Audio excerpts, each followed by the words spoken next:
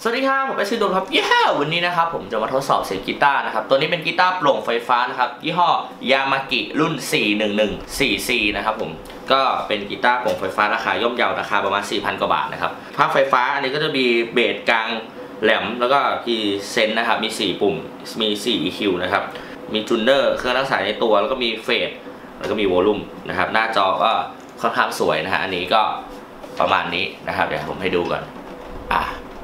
มันก็จะประมาณนี้นะฮะอะเครื่องทั้งสายก็ใช้ได้ครับ ผมลองใช้ดูแล้ว มันก็จะเป็นแบบสีเขียวอะไรประมาณนี้ อันนี้รีวิวแบบบ้านๆเลยนะฮะไม่รู้ในจอเห็นหรือเปล่า อ่า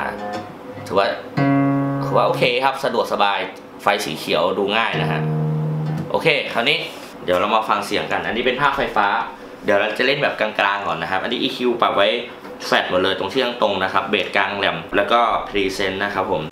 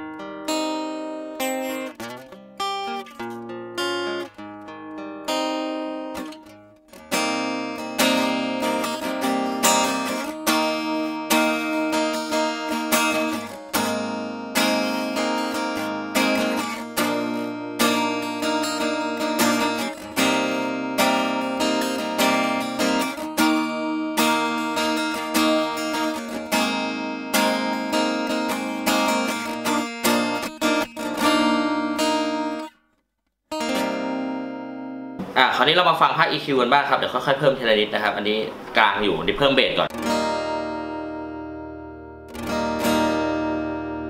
อะเปิดสุดเลย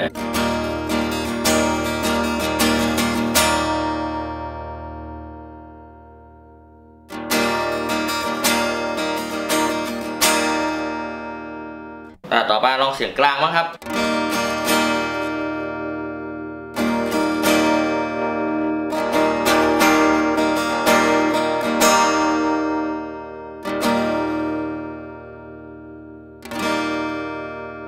อ่าต่อไปเสียงแหลมบ้างครับ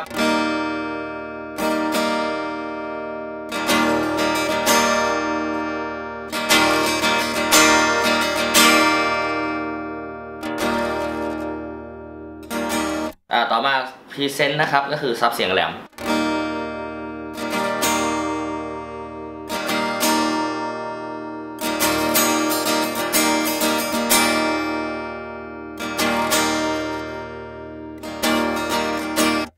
ภาค EQ ก็ใช้ได้นะครับ ก็ถือว่าคุ้มค่าเลยกับกีตาร์ราคา 4,000 ต้นนะครับ หวังว่าน่าจะถูกใจเพื่อนๆ หลายๆ คนนะครับสำหรับกีตาร์ตัวนี้กีตาร์ยามากิรุ่น 411 4C นะครับผม ไว้พบกันใหม่คลิปหน้าครับ สวัสดีครับ y e a